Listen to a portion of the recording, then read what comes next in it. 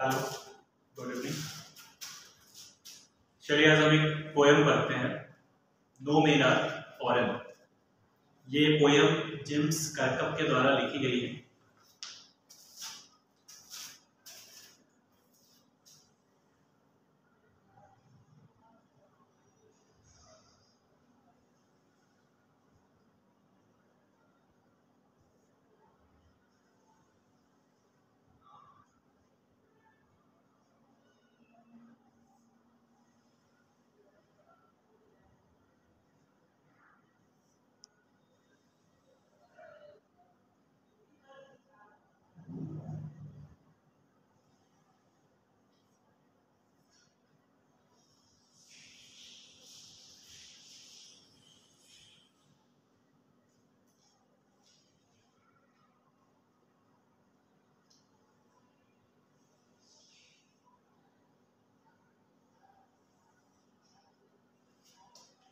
ठीक है हमारा पोएम है नो मेनर फॉरन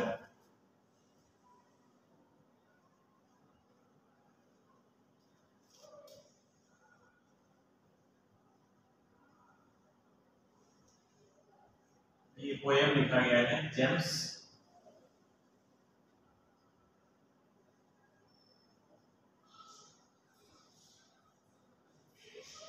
के द्वारा सबसे पहले हम ये देखते हैं कि ये जो हेडिंग है हमारा नो मेन आर फॉरन ये पहली बार सुनकर के आपको क्या लगता है? किस बारे में कविता होगी? किस बारे में पोएम होगी?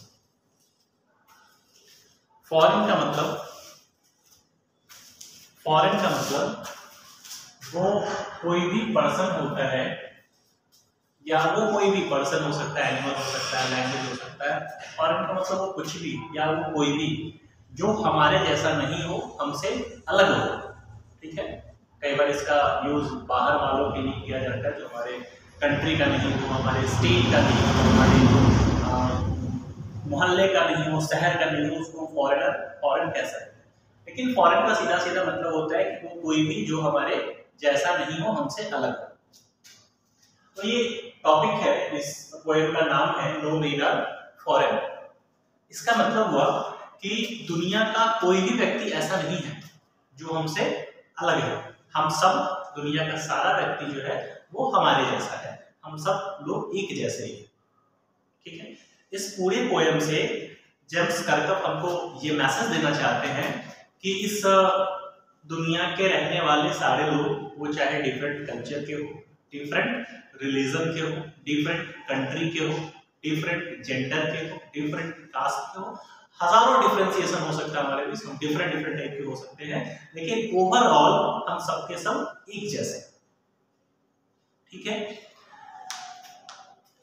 आप में से कितने लोग इस चीज़ को समझाएँगे? फ़र्स्ट स्टेंजा को पढ़ करके, और उससे आपको क्या समझ में आता है, ये बताना है। ठीक है? हम समझाते हैं। सबसे पहला हमारा फ़र्स्ट स्टंजा को पढ़ते हैं, फिर उसको हम समझाते हैं। No remember no male are strange no countries foreign beneath all uniforms a single body breathes like ours the land our brothers walk on is earth like this in which we all shall life मतलब याद रखो, दुनिया का कोई भी व्यक्ति, कोई भी इंसान हमसे अलग नहीं है।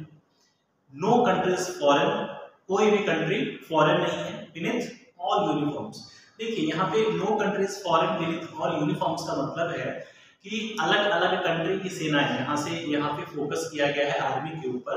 अलग अलग कंट्री की जो आर्मी होती है, भले ही उनकी ड्रेस अलग हो, वो कपड़े अलग पहने, लेकिन उन कपड़ों के भीतर, उन यूनिफॉर्म्स के भीतर हम सब एक जैसे होते हैं, दुनिया के सारे लोग एक जैसे होते हैं।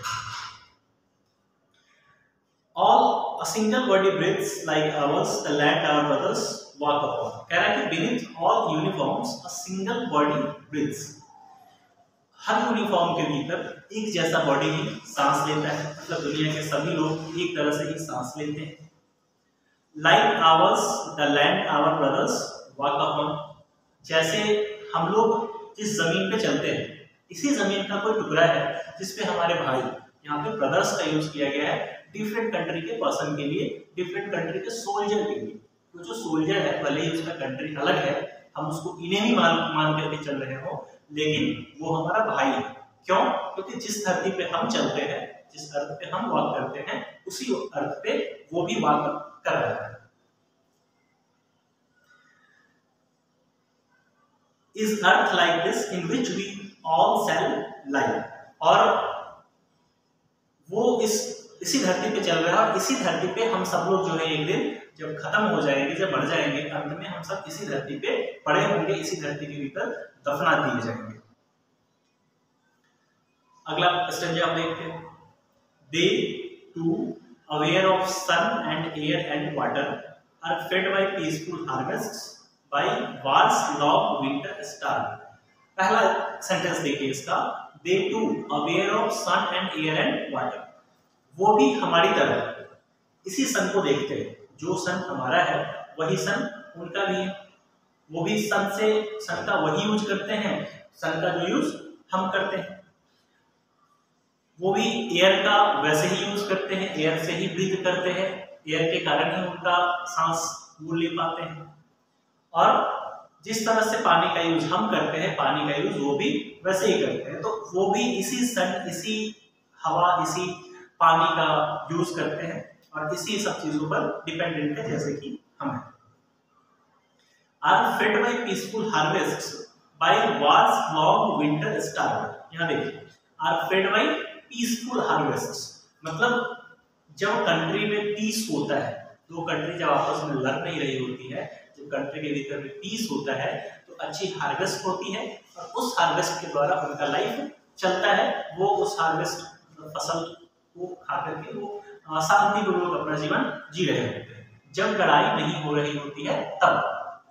और आगे है कि by wars long winter start लेकिन जब लड़ाई शुरू होती है तो जैसे जब तक लड़ाई चल रही होती है, उस समय जैसे विंटर चल रहा हो, जैसे विंटर के समय ऐसा होता है कि बहुत अच्छी हार्वेस्ट नहीं होती है, वैसे ही लड़ाई से जो, लड़ाई से भी हार्वेस्ट जो है खत्म हो जाता है, या हार्वेस्ट को बहुत क्षति, बहुत नुकसान पहुँचती है। तो जब लड़ाई होती है तो किसी विंटर में हुए बैड हार्वेस्ट की तरह हार्वेस्ट उस साल अच्छा नहीं होता है, फ़सल उस साल अच्छी नहीं होती है, और लोग स्टार्व करते हैं। अभी इसका सबसे अच्छा एग्ज़ाम्पल रसिया और यूक्रेन के वार में देखा जा सकता है। आप एक चीज़ नोटिस करेंगे कि एक टाइम था जब रसिया और यूक्रेन एक यूएसएसआर का United States of Soviet Russia का पार्ट हुआ करता था। आज भले ही वो कंट्री अलग अलग है, दोनों कंट्रीज़ अलग है। दोनों का इकोनॉमी दोनों की इकोनॉमी अलग है, दोनों के रूलर्स अलग है, दोनों का पूरा एडमिनिस्ट्रेशन अलग है। लेकिन इसके बावजूद उस दोनों के बीच बहुत अधिक सिमिलरिटी देखने को मिलता है। इतनी सिमिलरिटी है कि जो प्रेसिडेंट है रसिया का और जो प्रेसिडेंट है यूक्रेन का, दोनों का नाम व्लादिमीर है। आप इससे समझ सकते हैं कि दोनों कितने कॉमन है। आप दोनों कंट्रीज़ के सैनिक अगर एक जगह खड़े हो जाए तो आप उनका फेस देख करके अलग नहीं कर सकते हैं कि कौन यूक्रेन का सोल्जर है और कौन रशिया का सोल्जर है। लेकिन ये दोनों जो बिल्कुल एक जैसे हैं, आज लड़ रहे हैं।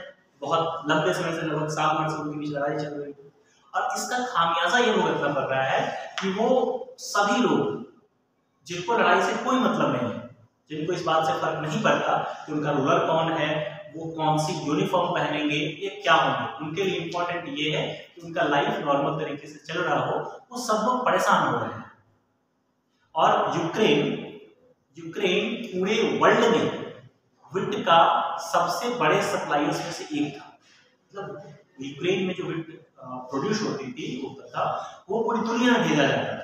आज लड़ाई के कारण यूक्रेन में अच्छी फ़सल अच्छी फ़सल नहीं हो पा रही है और पूरी दुनिया गेहूँ के लिए त्राहीमाम पूरी दुनिया में बचा हुआ है। तो यूक्रेन और रसिया का वार जो है, ये सबसे अच्छा एग्ज़ाम्पल है कि किस तरीके से दुनिया के हर व्यक्ति, चाहे वो किसी भी देश का वर्दी पहना हो, किसी यूनिफॉर्म में है हर व्यक्ति एक जैसा है। और हम लोग बिना मतलब के एक दूसरे से लड़ रहे होते हैं और इस लड़ाई का नतीजा देश के रहने वाले सभी लोगों को, सभी कॉमन लोगों को भुगतना होता है। हम आगे देखते हैं। Their hands are ours and in their lines we read a labour not different from our home यहाँ पे जो वर्ड यूज़ किया है their hands are ours and in their lines we read a labour अब आप किसी मजदूर का हाथ उठाकर देखो। उसके हाथों में पड़ी हुई रेखाएँ बताती है, उसका मज़बूत करा हाथ बताता है कि वो कितना मेहनत करता है। तो कह रहा है कि हर व्यक्ति, दुनिया का हर व्यक्ति एक तरीके से ही लेबर करता है और उसके हाथों का लाइन दुनिया के हर व्यक्ति के हाथों में पड़ी हुई रेखाएँ बताती है कि उसने कितनी मेहनत की है। वो यूक्रेन का पर्सन हो रसिया का पर्सन हो, रसिया का व्यक्ति हो, या इंडिया का व्यक्ति हो, वो मेहनत करेगा तो मेहनत करने का असर सबके ऊपर एक जैसे, एक जैसा होगा remember they have eyes like ours that big or sleep and strength that can be owned by love. कह रहा है कि इस बात को याद रखा जाना चाहिए कि किसी भी कंट्री का पर्सन हो, जिसको हम फॉरेन कहते हैं आज जिस व्यक्ति को हम फॉरेन कहते हैं या जिसको फॉरेनर कहते हैं उसको अपना इनेमी मानते हैं, उसकी बात कर रहा है कि उनकी आँखें भी हमारी तरह है। वो भी आँख बंद करके ही सोते हैं और आँख खोल करके जगते हैं। और उनकी भी जो ताकत है, यहाँ पे इस बात पे गौर करने वाला है कि and strengthening that can be own by love और उनके पास भी वो स्ट्रेंथ होता है जैसे हमारे स्ट्रेंथ को लव के द्वारा जीता जा सकता है, प्रेम से, ताकत को प्रेम से जीता जा सकता है, वैसे ही दुनिया के किसी भी वाक्य व्यक्ति की ताकत को प्रेम से जीता जा सकता है in every land is common life that all can recognize and understand.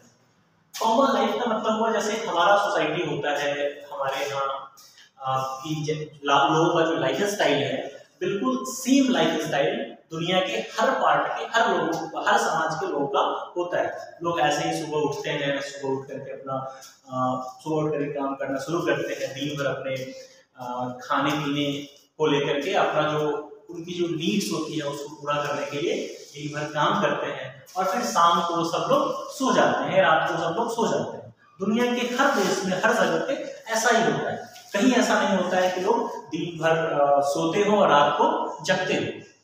सब जगह यही हाल है कि लोग दिन में काम करते हैं रात को सोते हैं। तो जब इतनी सारी सिमिलरिटी है तो हम क्यों किसी को फॉरेन कहें? और किसी को फॉरेन कह के क्यों उससे हम लड़ाई करें उसको मारे खुद मरे? Let us remember, whenever we are told to hate our brothers, it is ourselves that we shall disposes, betray, condemn. Remember, who take arms against each other? It is the human earth that we define. कह रहा है कि इस बात को हमेशा याद रखना चाहिए कि जब भी हमें कोई कहता है कि वो फॉरेनर है वो फॉरेन है तो उससे अलग है यहाँ पे बात कर रहा है दूसरे कंट्री के किसी पर्सन की लेकिन हम अपने सोसाइटी में अपने कंट्री में अपने स्टेट में भी इस चीज़ को देख सकते हैं कि अगर हमें कोई बता रहा है कि कोई पार्टिकुलर पर्सन तुमसे अलग है, और चूँकि वो तुमसे अलग है, इसलिए तुम उसको मारो। चूँकि वो तुमसे अलग है, इसलिए तुम उसको मारो। अगर कोई हमें ऐसा कह रहा है तो इस बात को याद रखने की ज़रूरत है कि हम उसे नहीं मारेंगे। हम स्वयं को परेशान कर रहे हैं, हम खुद को परेशान कर रहे हैं। हम खुद को बिट्रे कर रहे हैं, खुद को धोखा दे रहे हैं, खुद की निंदा कर रहे हैं, और खुद को बर्बाद कर रहे हैं। द मोमेंट हमें को ये कहता है कि सामने वाला व्यक्ति तुमसे अलग है और चूँकि वो तुमसे अलग है, इसलिए उसको तुम मारो, उसको परेशान करो। तो इसका सीधा मतलब है कि वो हमें किसी और को परेशान करने के लिए नहीं कह रहा है, वो सीधा सीधा कह रहा है कि तुम खुद को परेशान करो और किसी दूसरे को परेशान करके हम खुद को परेशान करेंगे, खुद को छलेंगे, खुद के साथ धोखा करेंगे। और फाइनली खुद को हम बर्बाद करेंगे। Remember who take arms against each other, it is the human earth that we defy. और जब हम एक दूसरे के खिलाफ हथियार लेकर लड़ते हैं, जब हम एक दूसरे से जंग लड़ते हैं तो हम कुछ और नहीं कर रहे होते हैं। हमारा जो एक कॉमन अर्थ है, इस कॉमन अर्थ को हम गंदा कर रहे होते हैं। हम एक दूसरे को मार करके इस कॉमन अर्थ को, चूँकि अर्थ तो हमारा भी वही है और उनका भी वही है। एयर हमारा भी वही है, उनका भी वही है। हम लैंड पे बाउंड्री खींच सकते हैं। एयर में तो बाउंड्री नहीं खींच पाएँगे। ओशियंस में तो बाउंड्री नहीं खींच पाएँगे। तो same air same water same land है। तो जब हम एक दूसरे को मार रहे हैं और एक दूसरे को मार करके अपने लैंड को हम गंदा करने लगते हैं। हम क्या करते हैं? जब भी हम एक दूसरे के खिलाफ हथियार उठाते हैं तो हम अपनी ज़मीन को, अपने लैंड को, धरती को गंदा करते हैं। Our hells of fire and dust outrage the innocence of air that is everywhere our clothing. समझिए इस चीज़ को कह रहा है कि हमारा जो हेल्स ऑफ़ फायर है मतलब जो भी बारूद बंदूक, बम, या इस तरह की जिन चीज़ों का जिन हथियारों का हम प्रयोग करते हैं, वो और जो कुछ भी पड़े, करे प्रेजेंट में, वो भले ही हमारा जो जिसको हम फॉरेनर फॉरेन फॉरेन मान रहे हैं, उसको मार दे, उसको खत्म कर दे, लेकिन उसको मारने और उसको खत्म करने के साथ साथ क्या करता है ये उस हवा को गंदा करता है, जिस हवा को हम अपना मानते हैं, वो हवा हमारा अपना है। हवा के साथ कुछ ऐसा नहीं है कि वो यूरोप का है, वो रशिया का है, वो यूक्रेन का है। हवा सबका कॉमन है। तो जैसे ही हम सामने वाले के ऊपर गोली डालते हैं, बम फेंकते हैं, जैसे ही उसके ऊपर एटम बम या कोई बम गिराएँगे हम तो उसको परेशान करने के साथ साथ हम, हमारी जो खुद की हवा है, जो कॉमन हवा है, सबकी है, उसको हम गंदा कर रहे हैं। तो हमें जब इतनी सारी सिमिलरिटी है, फिर भी अगर हम एक दूसरे को परेशान कर रहे हैं तो ये कुछ और नहीं है। हम इस धरती को, इस पानी को, इस हवा को खराब कर रहे हैं। ठीक है? Remember no man are foreign and no countries strange हमेशा इस बात को याद रखिए कि दुनिया का कोई भी पर्सन हमसे अलग नहीं है। वो बिल्कुल हमारे जैसा है। और नो कंट्रीज़ स्ट्रेंज दुनिया का कोई भी कंट्री स्ट्रेंज नहीं है। सब जगह का सिस्टम लगभग वैसा ही है जैसे हमारे यहाँ। का ठीक है?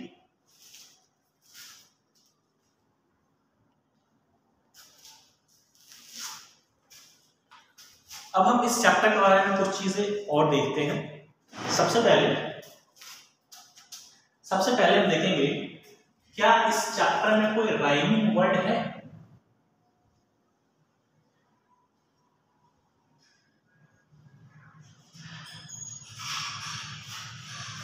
तो इस चैप्टर में कोई राइमिंग वर्ड नहीं है।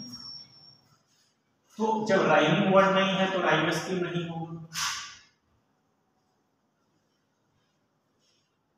जब राइमिंग वर्ड नहीं है तो राइम स्कीम नहीं हो कोई राइम स्कीम नहीं हम तीसरा देखते हैं कि इस चैप्टर में पोएटिक डिवाइस कौन कौन सा यूज़ किया गया है।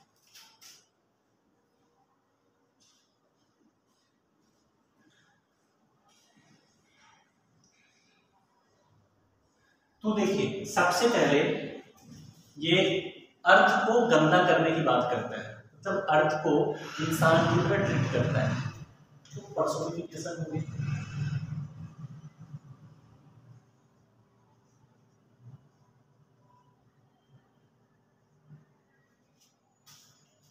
पर्सोनिफिकेशन एक पोलिटिक डिवाइस है, और भी कुछ डिवाइसेस है। हम बस अभी इसको इतना ही जानेंगे। नेक्स्ट है, हम इस चैप्टर से कुछ डिफ़िकल्ट वर्ड्स वो वर्ड जिनका मीनिंग हमको नहीं पता है, उनको हम चूज़ करेंगे।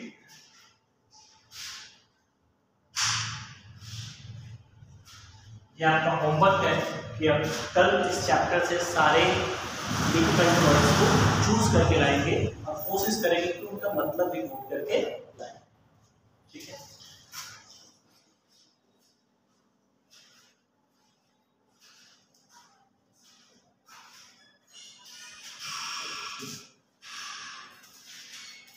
Thank you